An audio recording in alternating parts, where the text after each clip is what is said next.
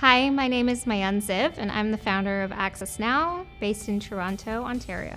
I was really excited to be offered the opportunity to act as a jury member for the Smart Cities Challenge because I think it's a really unique and innovative way to engage public citizens on the future of their own cities providing an opportunity to engage in discussions about the innovative technologies that are available in the future of what they might look like to actually better the lives of people everywhere across the country. Uh, it's just so exciting. Uh, using data, using different uh, automated vehicle opportunities or crowdsourcing components uh, to look at things like healthcare, transportation, well being, inclusiveness, uh, empowerment incredible themes that we saw across the board. So I was just really excited to get involved and, and learn about what people across the country are talking about, what's important to Canadians, and where are we going? What's the future of our smart cities?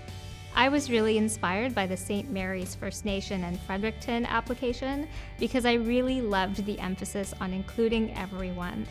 Uh, I thought it was really great to see a variety of perspectives uh, being engaged from homelessness as an issue to people with disabilities, uh, aging population, uh, and youth. I thought it was really fantastic to see uh, ideas about analytics uh, and different opportunities to engage people using different tools that allow them to find the unique and personal reasons uh, that they can access the supports they need.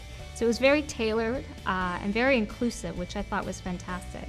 Uh, it was one of the only applications in the mix that really offered a holistic approach and dug a bit deeper when it comes to looking at the needs of people with disabilities. Uh, this is obviously something so close to my heart, uh, and I was so excited to see uh, this specific application talking about how we can create a more accessible and inclusive city.